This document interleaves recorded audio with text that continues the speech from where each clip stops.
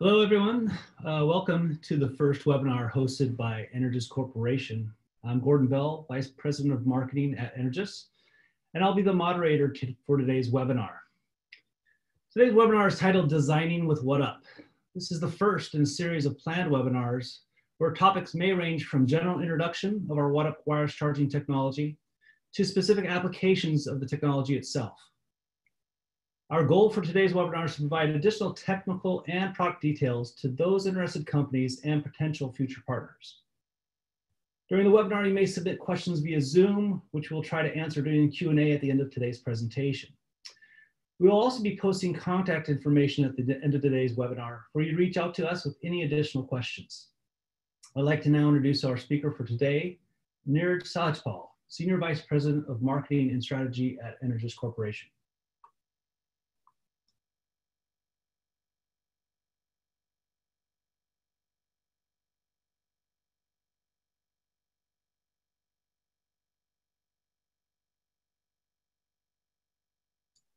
Hey, Neeraj, turning it over to you and, and unmic, uh, unmute, and you'll be on set.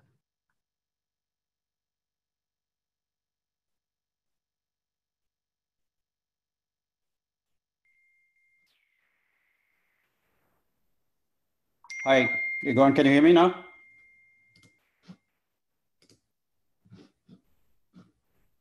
Hello, Gordon, can you hear me? Yeah, hi, Neeraj, you're all set. Thanks, Gordon. Uh, good morning, everybody in Americas, and good evening in Europe. Um, as Gordon suggested, um, we would like to share with you what progress we have made um, in recent times in, in taking the technology uh, way forward. So today's agenda is we are going to briefly talk about the company for, for partners or people on the call who, who do not know much about us. We're going to talk about our take on wireless power and then we'll go to a technology roadmap and the other product details, which will help all of you to think about how this technology can be integrated into the, into the products.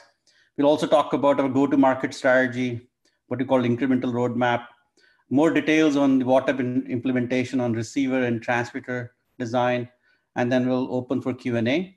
Please send your questions via Zoom to Gordon and me. So Energous um, is a, is an early stage uh, company which is based in San Jose, California. We have about 50 employees. Um, we are focused on RF power, and I would like to clarify RF power means antenna to antenna technology, not the coil to coil. Uh, we have exclusive partnership with Dialog Semiconductors for sales and manufacturing. In a big picture, we are a business unit of Dialog, which is outside the Dialog uh, so that we can take advantage of their significant sales and uh, manufacturing reach. Um, we are very, very focused on enabling the fabless semi business model. What it means is that our goal is to sell chips to our customers. Agree in the early stage of uh, any technology, we have to work at the system level, but the goal remains that we will be able to we'll be able to sell the chips to you. Today we have the roadmap in the CMOS, GaN, and GaAs. I'll be talking more about what kind of chip technologies which we have. Uh, we are working on multiple segments with multiple partners, and I'll be sharing with you more details on that.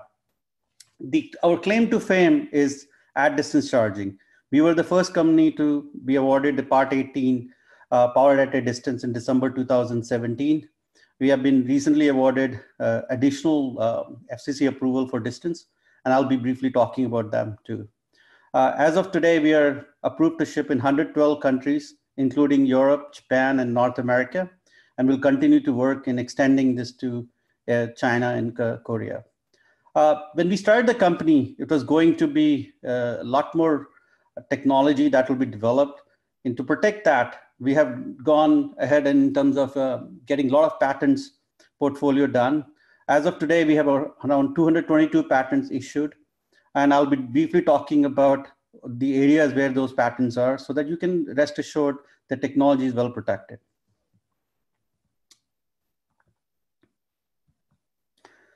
So there, first of all, thank you for sending all the questions and joining today. Um, I would be said, I'll be addressing most of those questions which you have sent earlier. During the presentation, if something is not addressed, please feel free to send those questions also. Uh, our goal has not changed. Most of the time, I see this question Are you really focused on near field?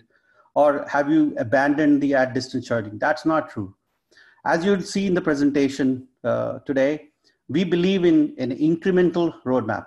What it means is that we have understood what would it take to take wireless power forward. And our approach is going to be incremental, starting from near field and all the way to higher distance and higher power. Our vision has not changed. Our vision remains same that the distance is important and we'll continue to add the distance to our portfolio. So let's just talk about um, how you really take a new technology forward. When you think about a new technology, um, I've been through, uh, through this process about four times in my uh, professional life. And I always think about it okay, how do you really see that a new technology has to move forward? There are three risks for every new uh, technology.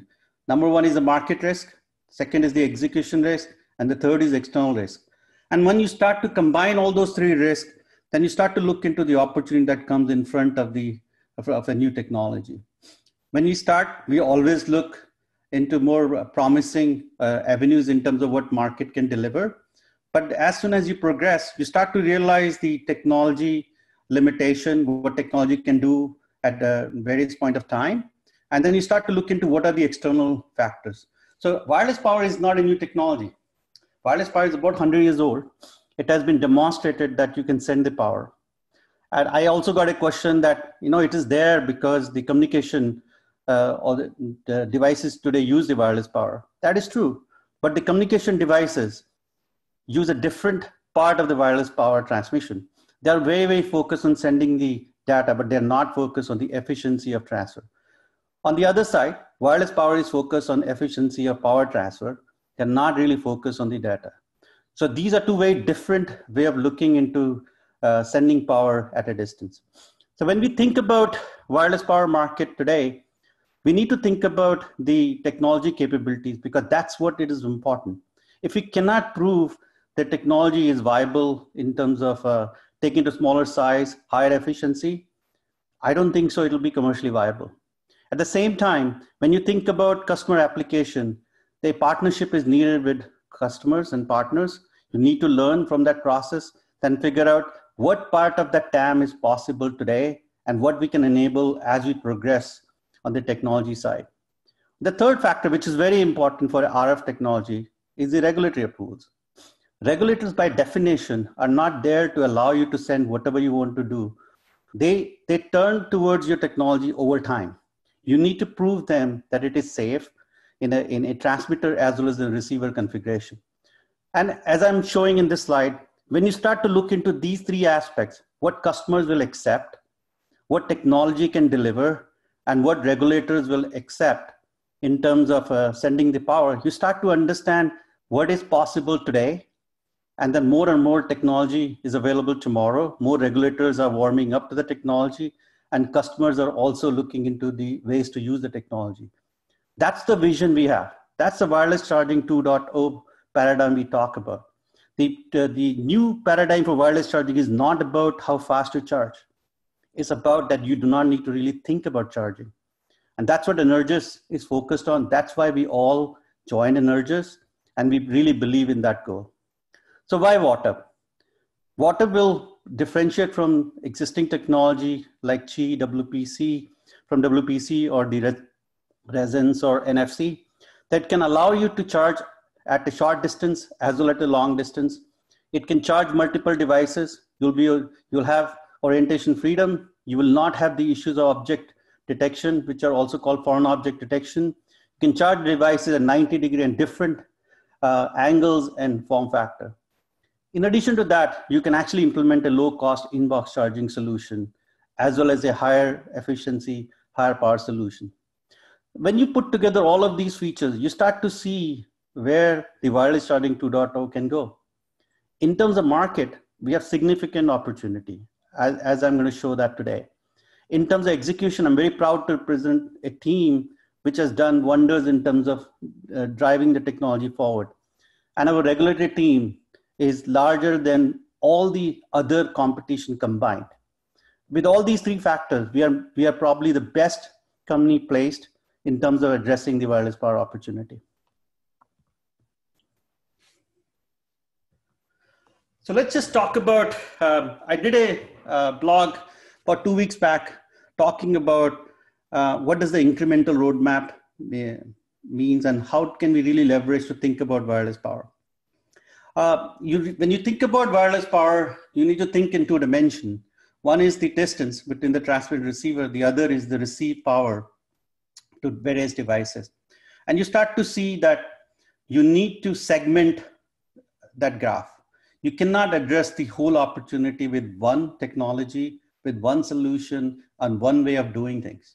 You have to start to think about where is the opportunity in terms of addressing the market. So we have defined uh, various section of this graph.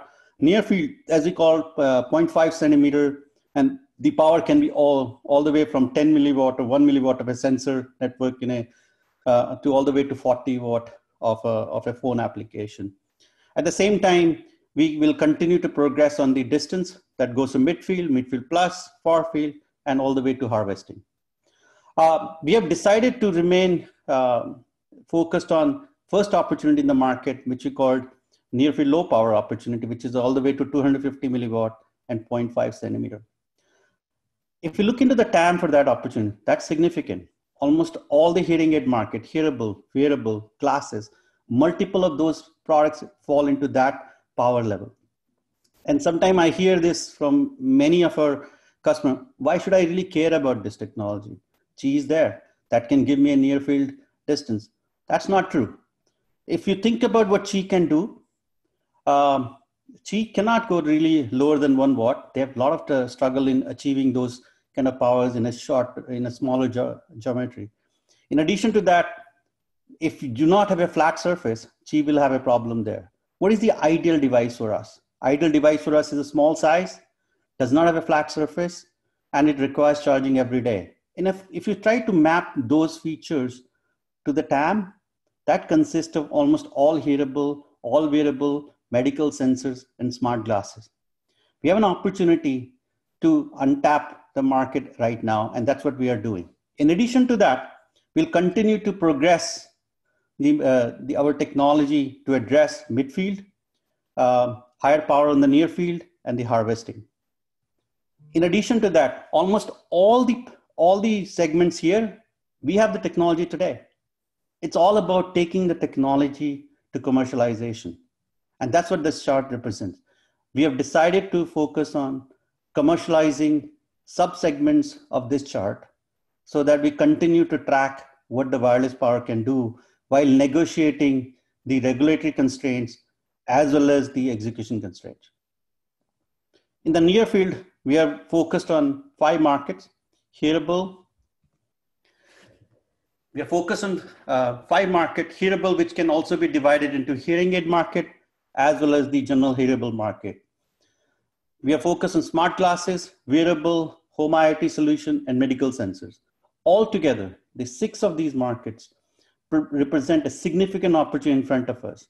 In addition to that, we are working with select partners in the long-term opportunity gaming, industrial IoT, military, public safety, portable computer, and mobile phone. So if you could see from a market opportunity standpoint, in spite of all the SAM we have to address over time, we have a significant opportunity in front of us. What that means is market risk for our company is low. So let's just talk about why should you care about WattUp? As I mentioned, if you think about the charging adoption today, especially from the Qi, not many of you actually have the Qi transmitter at home, very few of them. Uh, today, phone vendors are thinking about not to include wireless charging uh, defined by Qi in, in, in geography like India and China because they don't see really an additional value what they're seeing. But why? because consumer benefit is limited. If I still have to keep my charge in a tightly coupled uh, situation, that's not really a good consumer experience.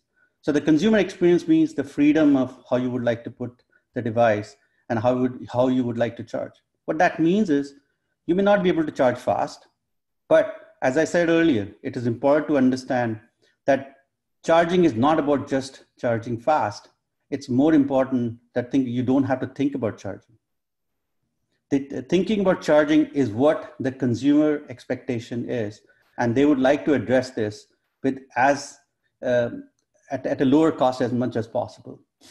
So we can provide our solution in a very small size. You can see the smallest receiver implementation we have. Uh, the WLCSP chip, which we have, is 1.7 to 1.4 millimeter. And you can think we can place these receiver implementation is the smallest hearing aid device, which is in the canal, all the way to a phone implementation. We can, we can provide higher power. This allows us a flexibility that the architecture is scalable. We can provide the user-friendly experience and the design is pretty rugged because you don't have to worry about connectors or, or the USB or the Pogo pin connectors. So let's just talk about the technology. Um, so in order to address the um, wireless power, you really require a system approach because it's a new technology. You don't find even the antenna designers who can design for power. Most of them have only known designing for communication devices.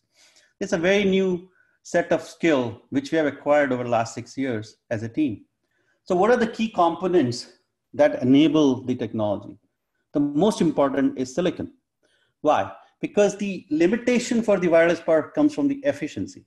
If we cannot provide an end-to-end high efficiency, then you cannot really have a solution that can fit into smaller size because the lower efficiency means you have to navigate the thermal constraints and that means the size will be bigger and the cost will be bigger too. So from the start, we were very, very focused on making sure that we develop transmitter designs and receiver design at a very high efficiency. And today, we have a very large portfolio of a design that can go from uh, receivers all the way from small milliwatts to 40 watt. Um, and the transmitter technology that is highly integrated. We have our beamforming technology that can allow us to have beamforming solution and the power amplifier can go from one watt to 100 watt. If you start to see from this perspective, you start to see that we have created the pieces that is required to create this wireless power solution. In addition to that, the significant system work has been done, including the software, including the BLE software that is, that is used to control the device, and the, the antenna design. Our antenna technology at 900 megahertz using the fractal solution provide the smallest possible solution, 900 megahertz. And a lot of time this question comes, why 900 megahertz? Why not 60 gig or 24 gig? Let me just share with you. We're a semiconductor company. We have done the development in 60, we have done the development in 5.8, and done the development 2.4, done in 900, and done in 40 megahertz. We are the only company in the wireless power ecosystem who has understood what it takes to develop solution at different frequencies and they're very important. If you think about a lot of companies uh, will talk to you that, oh, they can deliver this much power at that much distance. Um, they want to go to higher frequency because they can develop smaller antennas. To us, that's a myopic way of looking at it. Because if you only think about antenna size, I agree, it goes smaller when the frequency goes higher, but you do not look into the system aspect. And that's, that's what I call myopic view of looking at it you need to look into the complete solution all the way from AC that goes into the transmitter to the DC that goes into the battery and the receiver. When you start to look into that aspect, you start to realize it's just not the antenna size. You need to look into the efficiency, how the silicon efficiency changes with respect to different frequencies. And actually you'll notice higher the uh, frequency, lower the efficiency. Then you need to start to look into what amount of power you need to transmit from the transmitter to receiver to negotiate the path loss at various frequencies. It has to be a system approach. And we have mastered that approach thanks to all the partner with whom we have worked over the years. So let's just talk more details about how our structure, how our system solution looks like. I put together five cases, which goes all the way on that graph from near field to, to a midfield solution we just announced the approval for, the beamforming solution, and the far field solution and harvesting solution. And you start to see a common thread. Our approach was going to be that we, the receiver design should remain consistent. Why is that?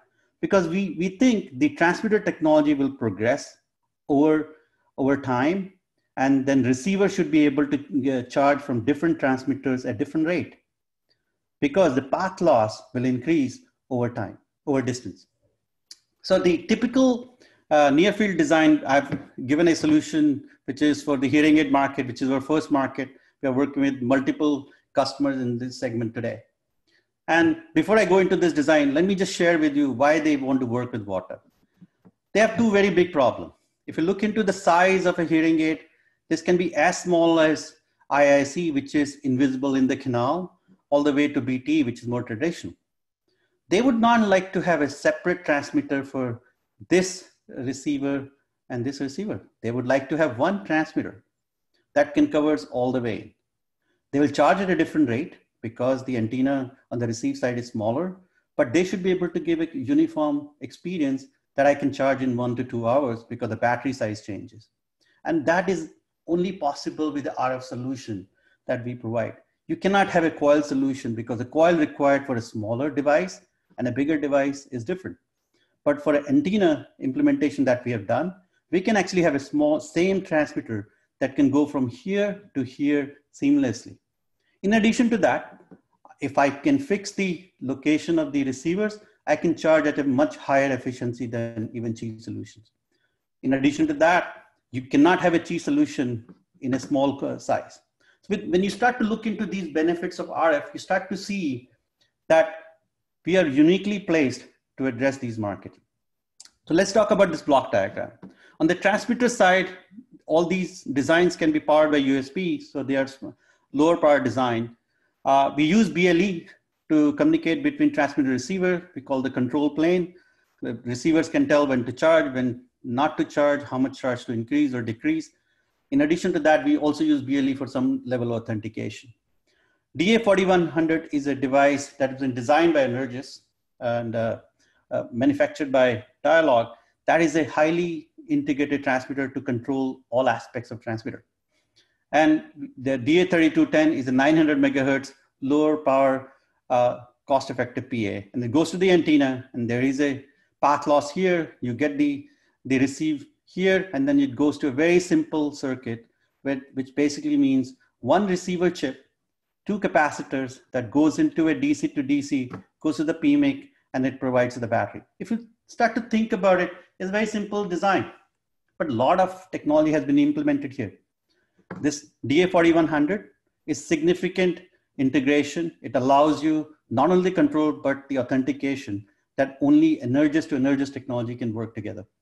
This power amplifier, we're not using the standard 5 gigahertz or 2.4 gigahertz communication power amplifier, which are not designed for power. These, design, these power amplifier has been designed for power. They're higher efficiency solution for a constant waveform. Antenna technology, we have done significant amount of antenna technology. We believe in providing a toolkit to our customers and we, we help them to achieve what they're looking for. On the receive side, one or many antennas can be implemented for diversity and because each of receiver path has four, four receiver paths. So let's look into the other, the midfield solution. This is what we announced the a few, few, few days back, the approval for.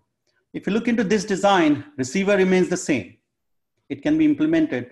What we start to see is the midfield solution is very good for higher size of the ID. For example, these uh, the headsets, these glasses, and even bigger watches also. What we have changed here is we are able to get higher power using our GaN power amplifier implementation because they can go all the way from 4 watt to 100 watts.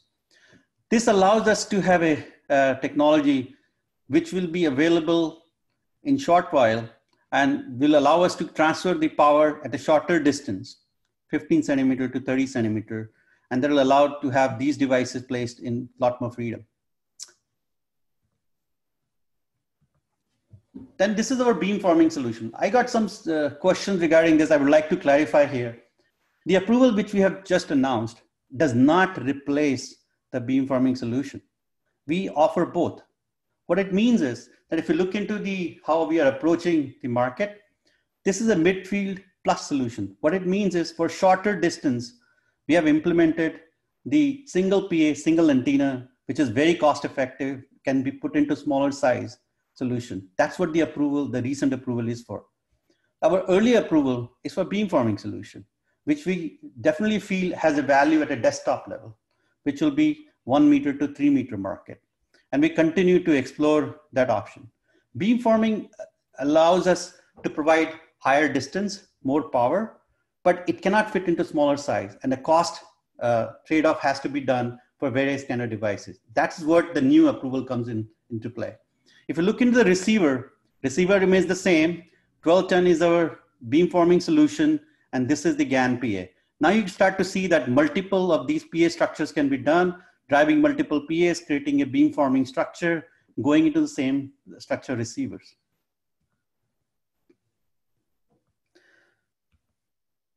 So let's just talk about the harvesting, which is what we call zone eight, the, the, the smaller power, longer distance.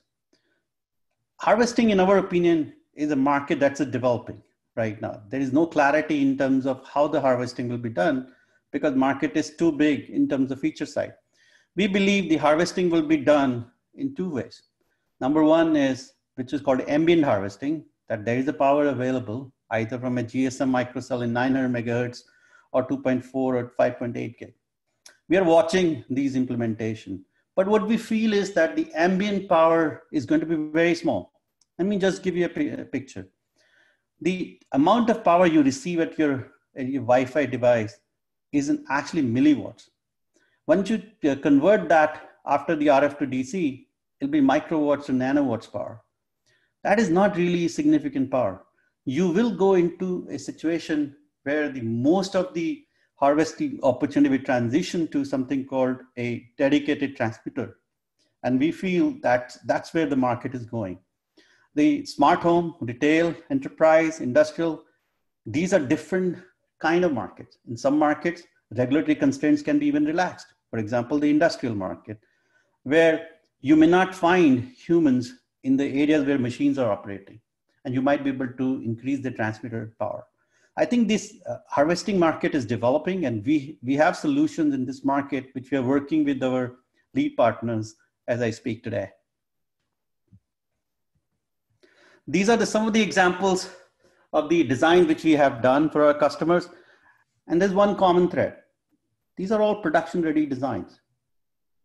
These are not something a conceptual design. We are working very, very closely with our partners and customers, trying to take this market forward. It's not easy, but it's worthwhile to do it. And the team which we have is developing significant amount of uh, innovation, trying to take this technology for, forward. For example, this design, this is a complete BT design, such a small antenna implementation that has been done.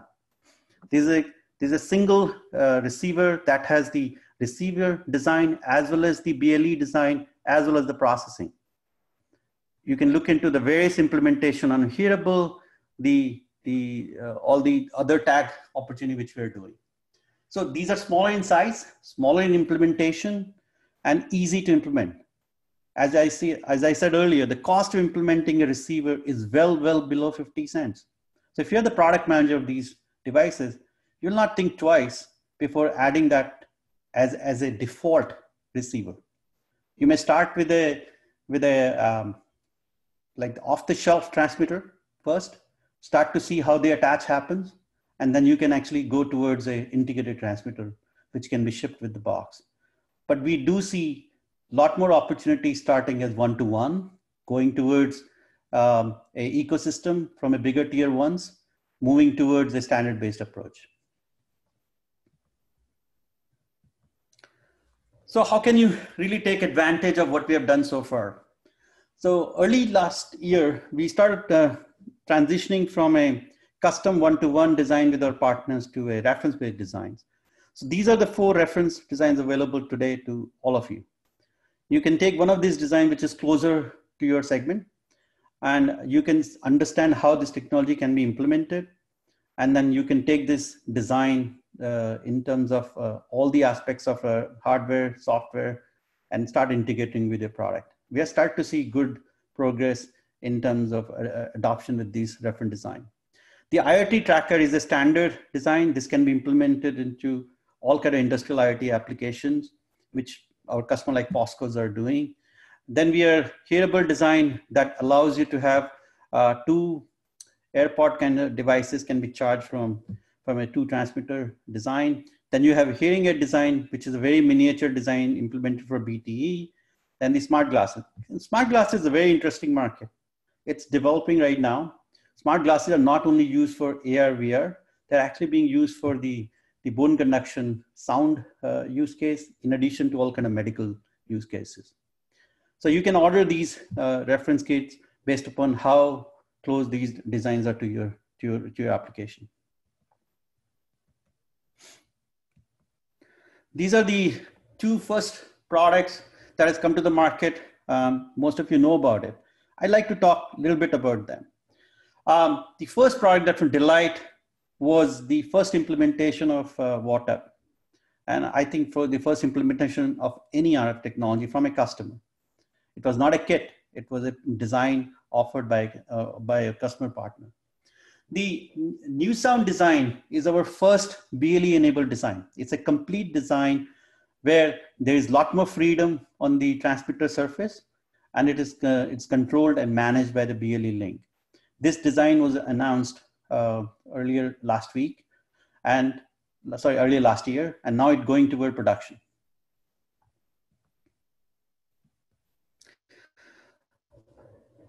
So if I talked about the technology, so let's just talk about the external, which is the regulatory. As you have been following us, you know that we have been making significant progress in terms of getting more and more approval, first at FCC, then at the global level. As of now, we are approved to ship in 112 countries, including US and Europe, and uh, we are very proud of our, our recent approval in Japan. We are the first company for the Part 18 approval, and we just recently announced our approval for the midfield that can go all the way to 40 centimeter with higher power. Our strategy is very simple. Let's look into the opportunity which is available in the current regulatory definitions and see what we can do while keeping the definition open. For example, part 15 allows you to 4, 4 watt transmit power. We have gone to 4 watt level power using part 18. Then we have pushed the limits on the transmitter power by showing that our SAR limits, our emission limits are within accepted norms. And we continue to push from that angle. In addition to that, we are also coming from the standardization perspective. Our team is working with ITU, ETSI, so that tomorrow a path can be paved for a global standard for wireless power based on 900 megahertz. We continue to make progress. It's not easy, but I, but I think our regulatory team has done a tremendous job in getting us closer and closer to what is possible at a global level.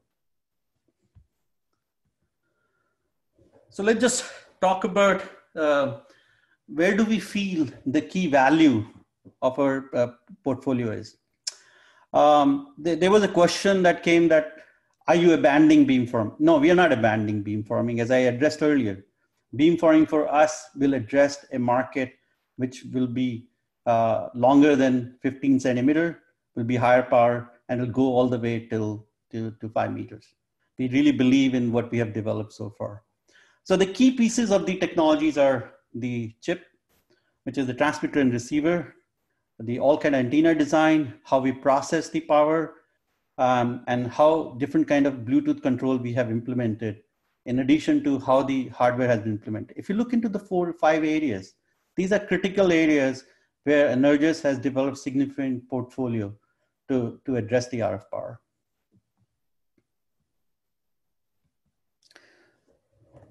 There, there have been some questions on how, does, how long does it take to adopt this technology?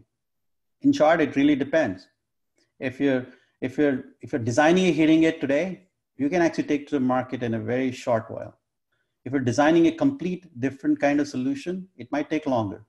I wanted to give you a perspective how our customer engagements are going in a typical engagement.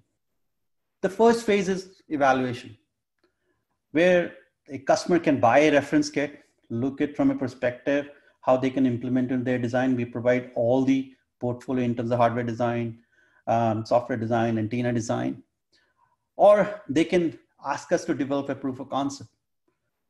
What it means is that we take the receiver device, implement our technology into a receiver designs, which is what they care about the most. And then show that receiver working in addition to all the standard functionality of that device. For example, hearable device, if it cannot be used for Bluetooth communication while charging, that's a problem.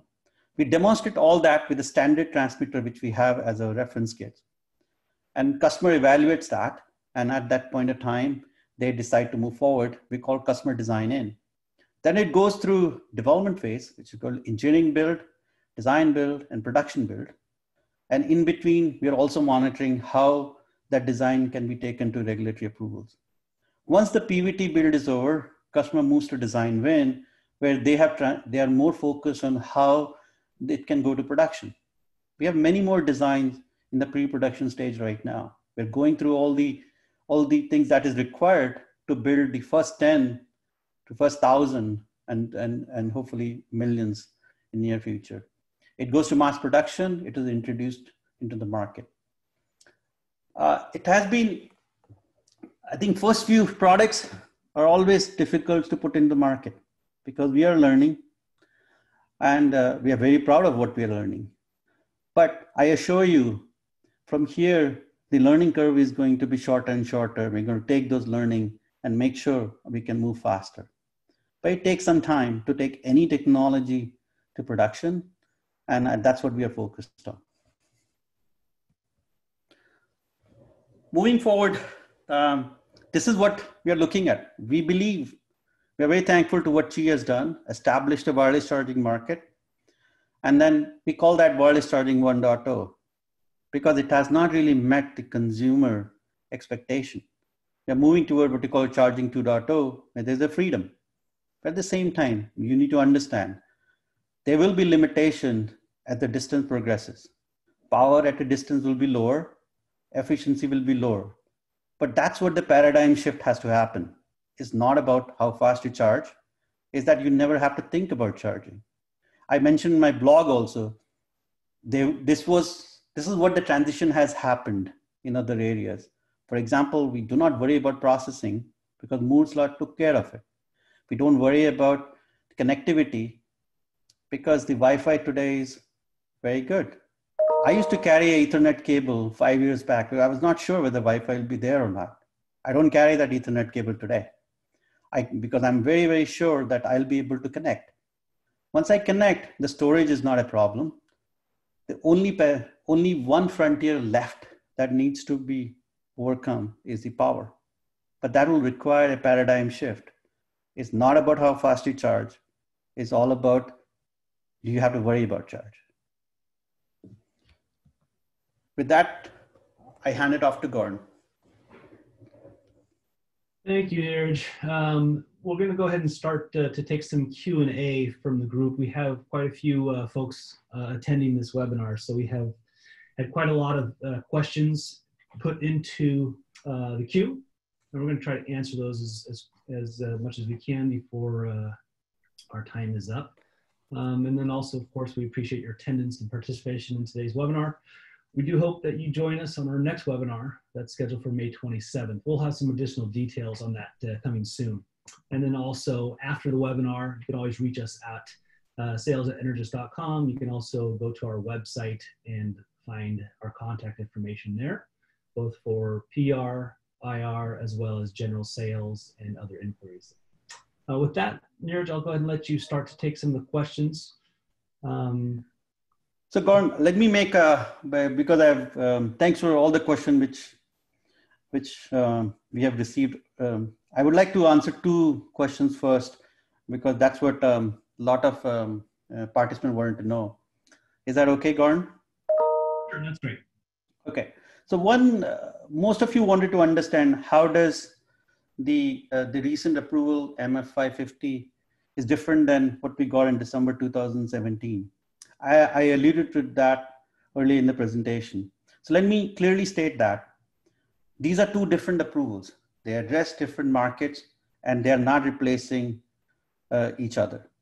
Beamforming solution, if you look into the beamforming application, there is a antenna aperture required, number of antennas or number of PA to create a beamform can be six, eight, or nine. When you put those antennas and transmitter in a, a transmitter uh, antennas in a transmitter design, you start to see there's a limitation on the size. What we have approved and two weeks back is path breaking because it uses single antenna, single power amplifier to create a charging zone up to 40 centimeter. And that allows you to have the lowest cost structure available in smaller size. Now you start to think this can fit into clock radio kind of design. It can fit into Wi-Fi access point design. It can fit into smaller uh, smart speaker design.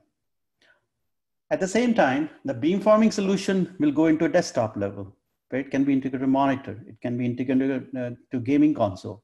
So these are two different applications and they will coexist because they're addressing different markets. The other question, uh, what are we doing for harvesting?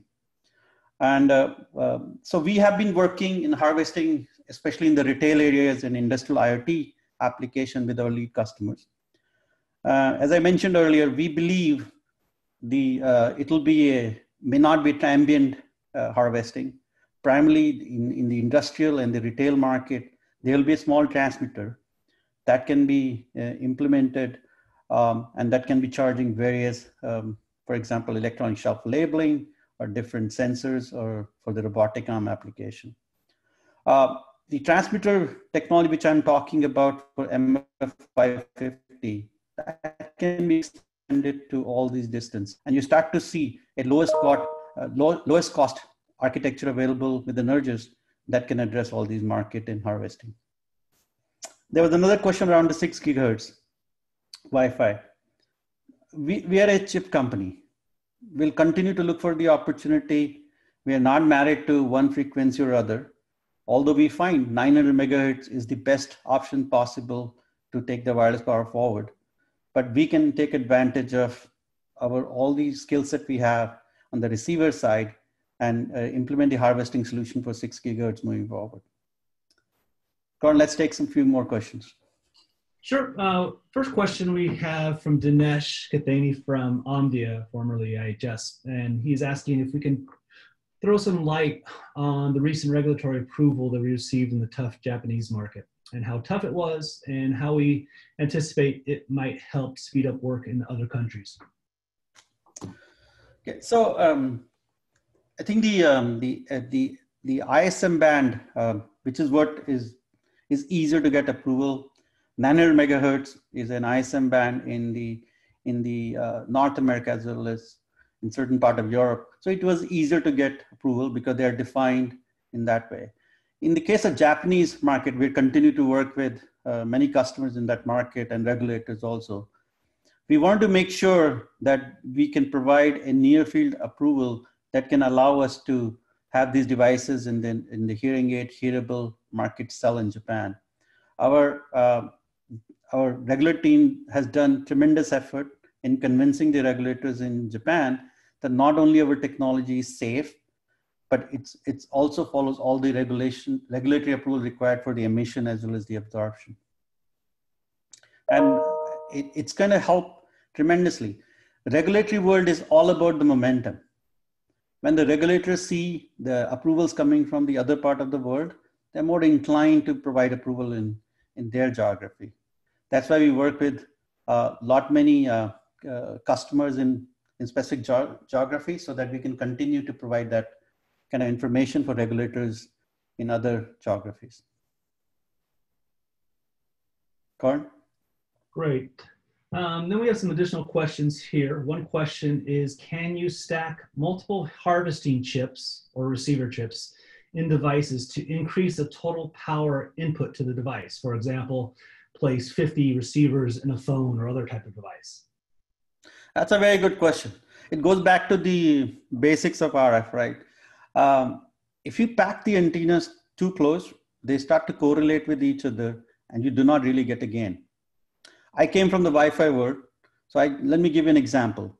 Uh, and the receiver design, receiver diversity is very important. But at the same time, you can actually provide two antennas in the receiver if they're not correlated to each other, you might be able to add them. But it, it's a complicated uh, subject because they need to be not in the same phase or maybe in the same phase. You need to have those kind of designs. But if they're very close, no, then you cannot. But if they're separated in the RF space, then they may be. Okay, another question. Uh, how many of Energous's competitors or other companies in the wireless power transfer space have received as many global approvals as Energous? Uh, I think the, this is a good question. Whom we see our competition, right? Uh, let me just throw some light on that. Um, if you look into the competition landscape for for wireless power, um, I, I, look at a three level. What are we competing against? At the first level, we are competing against the USBs, POGOs, POGO pins, and even the AC powers. At the second level, we are comparing, we should you use a coupled technology or uncoupled technology? When I mean by coupled technology is the Qi. And then the uncoupled technology has resins, RF, laser, light. And then you look in the third level when you state, okay, what are the ways the different uncoupled technologies addressing the market? Uh, at this point in time, uh, based upon what I, I know, there are not many RF approvals. Definitely Qi is very well established and we are very thankful for that, that they have created the mindset of RF power. Uh, I do not, I have not seen many RF approvals uh, from, uh, from our competition. Okay, another one is, uh, what is the difference between an antenna for communication versus an antenna for power? Both require higher efficiency if battery power is to be consumed. It depends upon what you're focused on, right? The antenna for communication, the goal is to transmit the, the data. That means the, the, your ability to have the, the fidelity of the data over the airwaves is more important than the the, the efficiency of how you transfer. Uh, in the case of power, the, the efficiency of power transfer in the air is important. Uh, so it really depends upon what you focus on. Communication device, if you look into the uh, what amount of power you really get on your cell phone when you're talking or you're getting your website is, is in, uh, in nanowatt to milliwatts. But the communication which you're getting, the data which you're getting is very important. In the case of wireless power, that's not true. You're not really focused on uh, the, the data coming on the same frequency, but you're more focused on the power. That's a difference between uh, the kind of modulation you do. Uh, modulation is not good for power efficiency. So it really depends on what the, uh, the end goal is and the communication versus power are two different kind of antenna structure. Okay next question is, if you, meaning Energous, make the chips, what does it mean to be Part 18 certified? Doesn't it depend on the customer's antennas that these chips are working with? Uh, it's a, when we say Part 18 approved, it's a system approved. So you're right about that.